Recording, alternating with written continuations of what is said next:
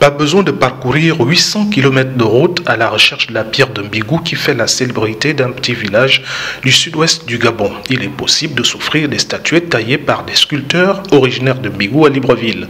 Bon nombre d'entre eux sont installés en coopérative au quartier Alibandeng au nord-est de la capitale. La pierre de Mbigou a été découverte dans les années 64 dans la localité de Mbigou, dans la province de Langounier, à 800 km de Libreville. C'est là où la découverte a été faite par deux individus au nom de Boupala et Moulaloukou. Dans le monde entier, c'est au Gabon où on retrouve la pierre d'Imbigou. Vous avez dans le monde, c'est au Canada où il y a la pierre à savon.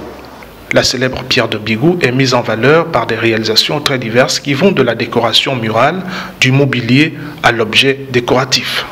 Vous avez à l'état brut, celle qui est à ma gauche, à ma droite, vous avez les finitions, ça c'est quand elle est terminée, prête à la vente.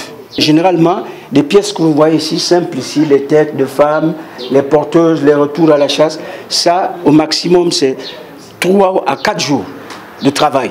Malgré une tentative d'autonomisation qui leur est reconnue, les artisans de la coopérative ne désespèrent pas du soutien de l'État.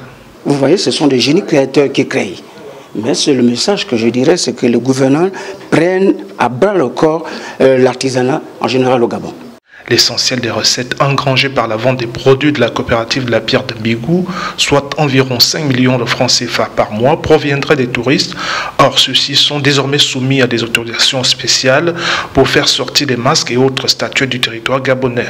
Une mesure souveraine du pays qui veut protéger son patrimoine culturel, mais à l'inverse, elle pourrait plomber ce pont de l'économie s'il ne bénéficie pas d'une décision compensatoire.